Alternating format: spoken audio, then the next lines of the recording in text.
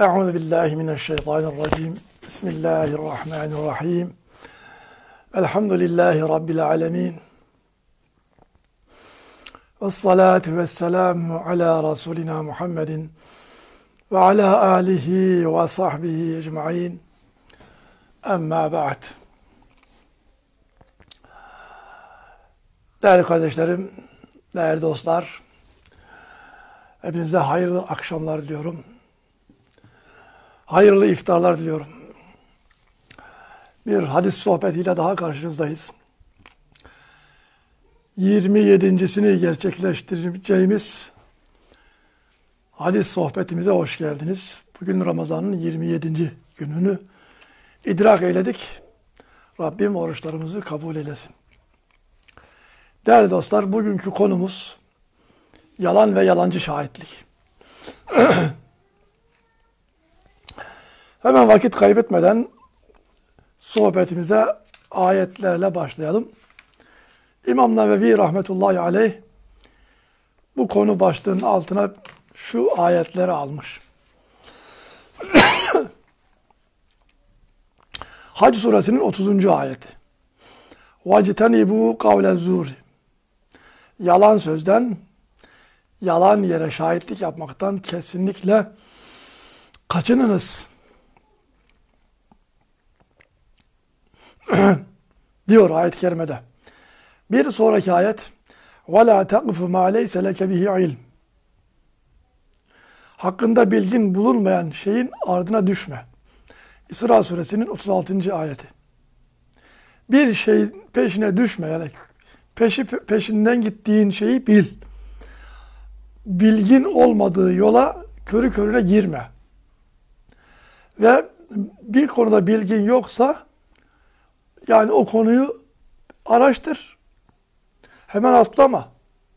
Çünkü böyle yaparak başkasının hakkına girersin. Kul hakkına tecavüz etmiş olursun değil mi? Yani bir kardeşin hakkında bir bilgi geldi. Doğruluğunu araştırmadan hemen o habere atlamamak lazım. Hucurat suresinde bununla alakalı ayet var. Fasığın biri size bir haber getirdiği zaman onu araştırın diyor orada. Fetebeyyenu araştırma yapın. Araştırın. Dolayısıyla Müslümana düşen bir haber okuduğunda sosyal medyada, gazetelerde, televizyonda o haberlerin doğruluğunu doğruluğundan emin olmadıkça hakkında yorum yapmamalıdır. Paylaşmamalıdır. Evet. Çünkü öyle manipülatif haberler var ki yalan olduğu bilerek yayınlanan, paylaşılan, sırf toplumu bozmak, ifsad etmek için, moral bozmak için e, bir sürü sosyal mecralarda e, haber, bilgi dolaşıyor. Yani internet bu manada bilgi çöplüğüne dönmüş durumda. Müslümana düşen ayıklayıcı olacak. Bu çöplüğün içinden e, çöp ile e, madeni, altını değil mi? E, ayırmasını bilecek. Çöpten e, teneke de çıkar, altın da çıkabilir. Değil mi? İyi şeyler de olabilir, kötü şeyler de olabilir. Evet. Şimdi değerli dostlar, Kaf suresine geçelim. 50. sure Kur'an'da. Bu 50. surenin 18. ayetini almış İmam Nevevi rahmetullahi aleyh buraya. Biz onun iki öncesi ayetle beraber değerlendirmek istiyoruz sizinle bu ayetleri. Şöyle diyor Rabbimiz.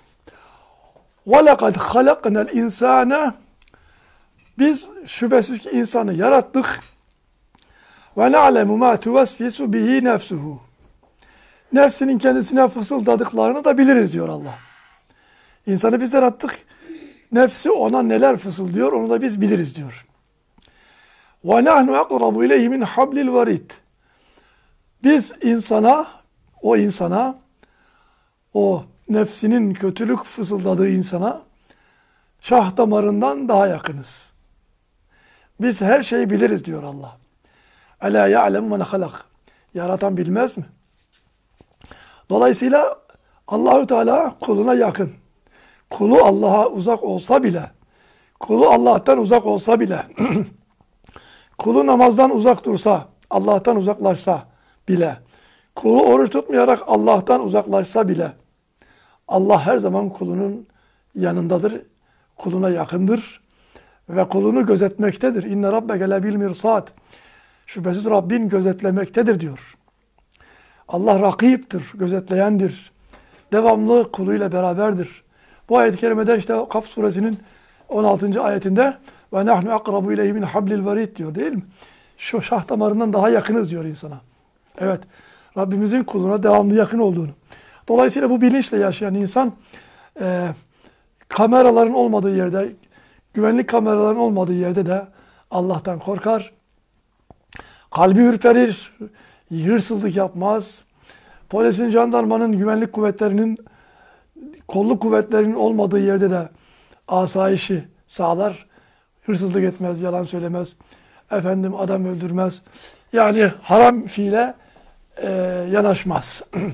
Çünkü Allah'ın kendisiyle olduğu bilincinde yaşar. 17. ayette de şöyle diyor. İz yetelakkal mutelakkiyani anil yemini ve anil şimali kaid. O insanın sağında ve solunda oturmuş iki melek vardır. İki tane alıcı melek. Mütelakkiyan demek alıcı demek. Anil yemini ve anil şimali sağında ve solunda oturan kaid oturan demek. Oturmuş ya ne demek? Konuşlanmış demek sabit. Allahü Teala her kulunun sağına ve soluna iki tane melek yerleştirmiş. Sabit, kopmaz, çıkmaz, son nefesine kadar onunla beraber olan, yaptıklarını kaydeden, gören, gözetleyen, e, de, sicili tutan, yorulmayan, bıkmayan, enerjisi tükenmeyen, pili tükenmeyen, şarjı bitmeyen bir kamera düşün. İşte öyle. Bu, bunları yerleştirdi diyor Allah. Yani oraya oturdu demek ne demek? Yerleştirdi. Devamından anlıyoruz ki ma yelfizu min kavlin illa ledeyhi rakibun atidun. Gördünüz mü? Bu insan diyor 18. ayette hiçbir söz söylemez ki yanında bu adamın yanında onu gözetleyen dediklerini zapt eden bir melek hazır bulunmasın.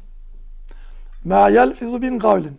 Hiçbir söz söylemesin ki o adam o sözü illa ledeyhi yanında var. Rakibun rakip gözetleyen, murakip oradan geliyor. Gözetleyen, gözetleyici, murakabe edici. Bir rakip, bir melek var ve atid hazır demek. O insan hiçbir söz söyleme, söylemesin ki yanında onu gözetleyen ve yanında hazır olan melek olmasın. Yani melekler insanın bütün söylediklerini ne yaparlarmış? Kayıt altına alırlarmış gözetleyip ve hazır olarak gözetleyici ve hazır olarak orada bulunurlarmış. Evet bu hususta İmam Nevevi'nin efendim Kaf suresi 18. ayete buraya almış. Biz iki öncesiyle beraber 16 ve 17'yi de size sunduk değerli kardeşlerim. İşte biraz önce okumuş olduğum Fecir suresinin ilgili ayeti burada geldi. 14. ayet. İnne rabbeke lebil mirsat. Şüphesiz Rabbin sürekli görüp gözetmektedir. Mirsat o demek. Görüp gözetmektedir. Bu kelimeyi Türkçe'de kullanıyoruz. Rasathane diyoruz. Gözetleme yeri demektir. Evet. Bir başka ayet Furkan suresi 72. وَالَّذ۪ينَ لَا يَشْهَدُونَ زُورًا Olgun müminleri sayarken ayeti yukarıdan aşağı onların bu olgun müminlerin özelliklerinden bir tanesi de وَالَّذ۪ينَ لَا يَشْهَدُونَ zura. Yalan şahitlik yapmazlar. Yalan yere şahitlikte bulunmazlar. Görmediği halde gördüm diye şahitlikte bulunanlar.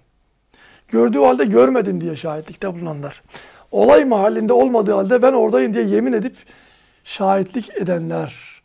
Bütün bunlar kul hakkına girmişlerdir. Dolayısıyla ahirette yargılanacaklar. O hakkını yedikleri insandan Orada nasıl helalleşecekler artık düşünsün. Çünkü senin şahitliğinle belki haksız olan adam haklı oldu. Haklı olan adam haksız oldu ve suçlu adam dışarıda elini kolunu geze, sallayarak geziyor. Suçsuz masum olan da sırf senin şahitliğinle belki de zindanlarda çürüyor. Evet. Bunun vebal çok ağırdır. Bunu biz hacla, umreyle, namazla, oruçla temizleyemeyiz. Bu kul hakkını oruçlar, namazlar temizlemez. Sadakalar temizlemez. O kadar vebali ağır.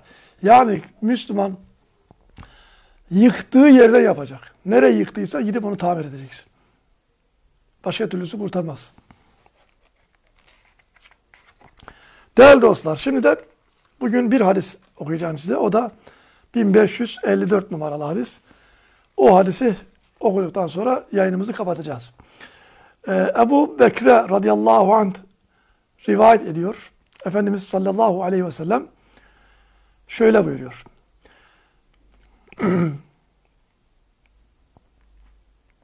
diyor ki Ela unebbiukum bi ekberil kebair. Sahabe-i kirama diyor ki Allah Resulü aleyhissalatü vesselam size günahların en büyüğünü haber vereyim mi? En büyük günahı size haber vereyim mi? diye soruyor. Sahabe-i kiram bela ya Resulallah. Evet. Haber ver ya Resulallah. Kale şöyle dedi. El işraku billah. Bir, birinci kalem. En büyük günah birinci kalem, birinci sırada Allah'a şirk. Allah'a ortak koşmak. Allah'ın ilahlığını beğenmeyip başka ilahlar edinmek. Allah'tan başkasından Allah'ın yapabileceği şeyleri istemek. Değil mi? Bunu geçenki sohbetlerimizde söyledik. Değil mi? Yani ya hocam biz Allah'tan başkasından misal bir arkadaşımızdan kalem istemeyecek miyiz? Bu istemek değil. Bu kalemi birisinden istersin alırsın. O kulu yapabileceği şeydir. Allah'ın yapabileceği şeyleri kuldan istemektir şirk olan. Nedir o? Misal, e, basit bir örnek veriyoruz. E, çocuğu olmuyor misal insanın. Doktora, hastaneye gidip tedavi olup, sebeplere yapışıp, sonra Rabbine vermesi için dua edeceği yerde, dua edeceği yerde e, gidiyor yatırdan, türbeden istiyor. Yani ölüden istiyor. Yanlış yere gidiyor. Yani doktora git, gitmesi gerekiyor zaten. O bir fiili duadır. Ondan sonra Ya Rabbi ver diyecek. Ya Rabbi. Rabbi hebli mine salihin. İbrahim Aleyhisselam duası. Peygamberler böyle dua etmişlerdir. Allah'tan evlat istemek için. İşte o zaman Rabbim salih bir evlat ver diye dua edecek, isteyecek yerde Allah'tan değil de gidip türbeden, yatırdan, şuradan buradan istediğin zaman işte şirk olmuş oluyor değerli dostlar. Allah'ın affetmeyeceği günahlar arasındadır bu. Evet.